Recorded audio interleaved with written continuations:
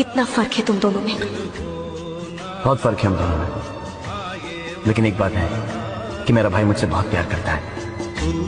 तू है वही दिल ने जिसे अपना कहा